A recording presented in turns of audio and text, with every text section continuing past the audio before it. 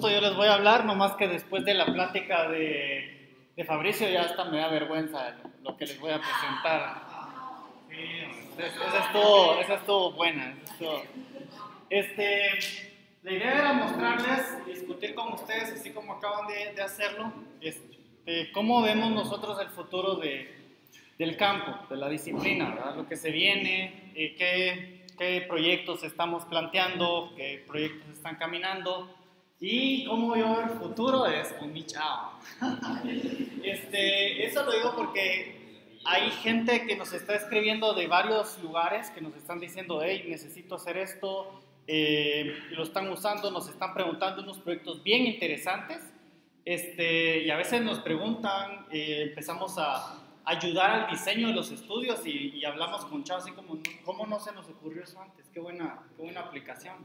Este, ahorita tenemos, bueno, hay ya un borrador de, de, un, de, una propuesta para el Instituto de Salud de Estados Unidos, donde queremos vender la idea de usar esta herramienta para entender eh, enfermedades. Entonces, en muchas de las eh, aplicaciones del mapeo de enfermedades, que existe en todo el mundo está bien, bien atrasado.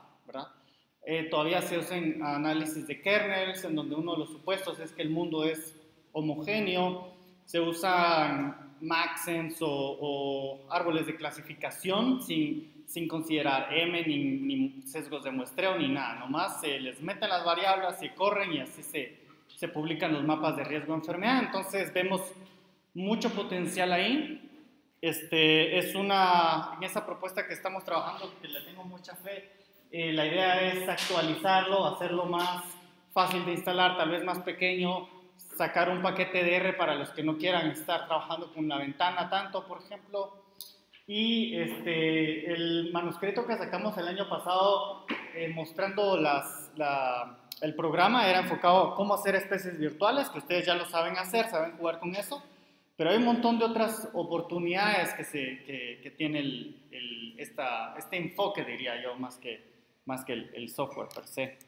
Entonces, sacar la, la, nueva versión. Algo que sé que es en lo que la gente de, del laboratorio de Anderson está trabajando es este, el programa Wallace, que es, una, es, un, es como un paquete de R realmente ellos acaban de, ellos tienen ahorita un proyecto que va para tres años, van a seguirle trabajando duro a, este, a, esta herramienta. Y eh, la gente que está trabajando con Wallace es también la gente que estuvo, hoy sí me cambié la camisa, ahorita que... Este, es la misma gente que estuvo trabajando el, el paquete de N M-IVAL, lo que ustedes estuvieron haciendo también. Entonces están, están trabajando lo de, juntos.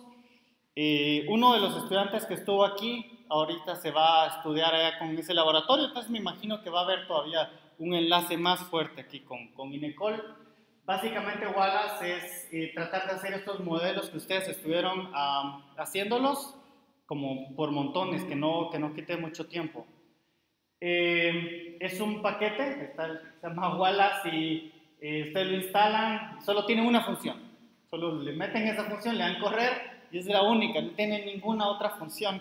Entonces lo que hace es que se conecta a internet y ya ustedes ya tienen esta plataforma en donde pueden bajar datos, limpiar datos. Hay otras, hay otras eh, herramientas que están haciendo esto. Una de las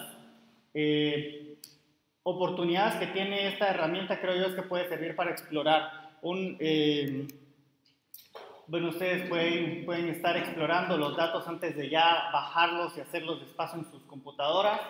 Pueden estimar, eh, calcular la M con el mouse o meter otro shape para, para hacer los análisis. Y algo que eh, ustedes estuvieron haciendo aquí y pues lo hicieron con, en sus computadores es analizar toda la parte de a y Z, todo, cambiar los parámetros y ya estar jugando con, con, con Maxent un poquito eh, más rápido, digamos. Esta sería una de las oportunidades que tiene. Tiene también todas las capas de clima futuro, entonces ustedes pueden hacer el, análisis para, para todos los climas futuros, todos los escenarios de cambio climático que hay. y a veces, eh, ya que tiene esta oportunidad de estar manejando la M, eh, también está la oportunidad de explorar un montón de especies al mismo tiempo. Eh, otra cosa que, bueno, eso es lo que está pasando en términos de herramientas. En términos del marco conceptual, que así fue como yo, lo, como yo diseñé esta presentación, es algo que ya sabemos que está, nomás que no, no, se, no, se, no se usa. Un manuscrito que sacamos hace poquito sobre la ardilla que yo les mostré era que, de hecho, estábamos, el paper era el, qué importante es el, el AM cuando estás eh, modelando especies invasoras. Y los journals, así como de, de, del campo, como el Journal de Biogeografía, otros donde ya la gente ya maneja estos conceptos y estas herramientas, dijeron, rejected, su paper no es nuevo, y eso ya lo sabemos. Entonces le cambiamos el título y decir, es algo así como algo que ya se sabe, pero todavía no se aplica.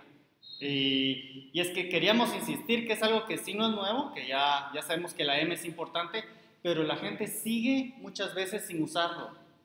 Eh, y de eso quería entonces mostrarles algo que estoy trabajando con Melissa, ella es estudiante de maestría allá en la Universidad Estatal de Minnesota y es un proyecto más o menos grande que tienen ellos con el Departamento de Vida del Departamento de Recursos Naturales del Estado. Y bueno, ustedes ya saben que Minnesota tiene un montón de... es puro lago, es solo lagos son. Y tienen miedo de que llegue una especie invasora, que es la carpa asiática. La carpa asiática es bien interesante porque ella, esta de aquí se alimenta del, del fondo del lago. Entonces, cuando se está alimentando así como por, eh, por el sedimento, levanta mucho el sedimento y este, el agua se ve así, como está aquí. Entonces, ya no llega la luz y ya cambia toda la comunidad del, del, lago. Eh, en Estados Unidos, como se alimenta del sedimento, eh, a los a, estadounidenses no les gusta comer eh, este pescado porque dice que tiene mucho sabor a lodo. En cambio, en Asia, China ama, aman eh, este pez. Y de hecho es muy importante para su cultura. Dentro de la especie hay varias variedades. Hay una que es café, otra que es eh, como gris y otra que es un poquito más roja. Esta es más o menos como está aquí. Y ellos no la ven entonces como una especie invasora. De hecho, la, la cuidan un montón y tienen incluso un festival. Eh, tienen el Festival de la Carpa y ellos en su mitología, digamos, eh, tienen de que la carpa puede nadar en contra de la corriente. Y cuando está, ellos, eh, la historia dice que cuando está gris, sigue nadando, sigue subiendo y pasa a, a café, sigue nadando, sigue nadando y pasa roja. Y después de que pasa roja, y cuando va nadando contra el río, pasa un manto.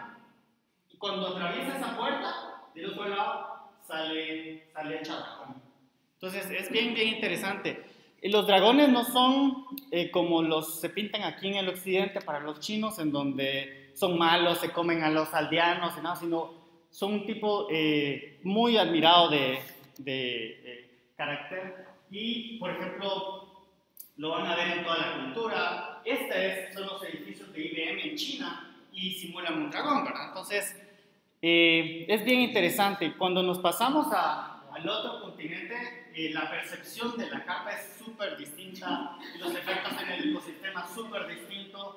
Y lo que yo les contaba era que, bueno, eh, no hay depredación por los humanos, por lo menos, entonces les da tiempo de, de crecer. la, la carpa tiene un, un oído que es eh, distinto a los oídos de los peces en Estados Unidos, entonces es más sensible.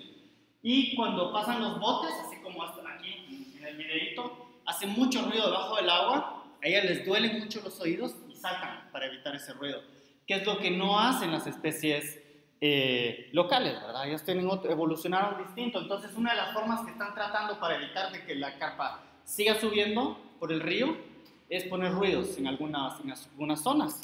Eh, es un poquito la historia de la invasión. Eh, Minnesota está aquí. Ya se reportaron un par de individuos. de, 25 libras. Y uno de los problemas es que una hembra puede poner 300 mil huevos en un año. Entonces, uno, uno es, es, bastante. Lo que están haciendo ahí donde yo trabajo es eh, estar capturando la carpa, ver dónde va, esto, esto es en Chicago. Eh, aquí estamos tomando muestras porque eh, SUNY quiere eh, ver si encuentra un virus que las mate para que ya tengan un tipo de, problemas, digamos, que no se les haga tan fácil. Otro, otro colega está trabajando para poner eh, unas, ventanas de burbujas, les llaman ellos, que también le cae mal a la carpa. Entonces ya como tratar de, evitar que, siga subiendo el río eh, eh, otro de los intentos por controlarla un poco, este es un lago que está congelado. Ellos están parados sobre el, agua congelada. Y lo que hacen es que, como hay poca comida durante el invierno, es que tiran elotes, tiran maíz, y la carpa llega, ya saben que llega, entonces ya después ponen una malla, una red, otra vez tiran elotes y cuando la carpa llega lo suben. Entonces están tratando de eh, jalar biomasa, pero es una es una especie bien exitosa para, para invadir, por eso es que se ha distribuido también. Eh, y entonces la idea de este proyecto, cuando ellos llegaron eh, a nuestro laboratorio, dijeron, queremos identificar las zonas en donde tenemos que poner este ruido, donde tenemos que poner estas compuertas de, de burbujas, donde tenemos que enfocar nuestros recursos aquí en Minnesota para que la carpa no llegue al, lago más grande del mundo, al lago superior. Entonces, ese es, el, ese es el miedo. Ellos dicen que si la carpa logra llegar a ese, ese lago, va a ser una catástrofe eh, biológica. Eh, entonces, esa, esa, era la pregunta, ¿en dónde tengo que enfocarme? Este, y quiero ver entonces las zonas que son eh, habitables para la carpa. Quiero a través de modelos de nicho. Esa fue, esa fue la pregunta. Y yo les dije, pues ahora entremos en el reto. Y la idea de ellos era tomar los datos ahí en, donde se sabe que esas son las compuertas que hay en todo el río y ellos querían ver, bueno, en qué partes de todo Minnesota me enfoco y querían usar esos puntitos que donde ya se reportaban como cinco carpas para calibrar el modelo de nicho. Este, entonces dijeron, bueno, yo creo que eso fue, no me acuerdo, como a mediados de mes, ellos dijeron, ¿qué tal si lo vamos terminando a finales del mes, el, el modelo, el estudio? Yo les dije, yo creo que va a tardar un poquito más. Empezamos a hablar de toda esta idea de, órale, ¿quieren usar el nicho? ¿Quieren estimar el nicho? ¿Cuál nicho? Eh, y empezamos a hablar todas las bases conceptuales que están en esto. Eh, y ya se les alargó un poquito más. Ahora ya la estudiante tuvo, la última reunión que tuvo con su comité les dijo, calculamos que nos va a llevar un año y medio el proyecto. Entonces, eso a mí me alegró mucho porque ya eh, ella va ahorita tal vez en un 50% de la colecta de los datos que realmente vamos a usar para estimar eh, riesgos de invasión aquí. Eh, ya no estamos pensando solo en, el, en Minnesota y esos puntitos, estamos, vamos a modelar el nicho, vamos a utilizar todos los, todos los puntos eh, que tenemos de la especie, que, donde queremos realmente estimar las tolerancias que tiene la especie. Estamos identificando la zona nativa para ver cómo ha crecido, cómo es esa eh, expansión en términos del, del nicho que, o, el llenado de nicho que ha tenido la especie. Vamos a aplicar todos los conceptos de la M para ver qué conocimiento tengo yo y qué conocimiento no tengo yo. Eh, vamos a usar variables climáticas, que es lo que ustedes estuvieron usando aquí. Y esas, una vez establezcamos, establezcamos el mapa binario en función de clima, Ahí vamos a hacer el siguiente paso de usar sensores remotos, porque ellos querían decir en qué parte del río. Tengo todo un río, bueno, ¿en dónde me tengo que enfocar? Es, ellos quieren mucho detalle y eso lleva mucho trabajo y hay mucha incertidumbre. Más, más capas le metemos, más fino queremos trabajar, es mucha más incertidumbre, ¿verdad? Entonces, eh, esto es nomás para decir que yo creo que lo que se viene es parar un poquito la, corredera de modelos y empezar a trabajar más en el espacio ambiental para ver qué es lo que estoy modelando. eso eh, creo que es de mi parte. Thank you.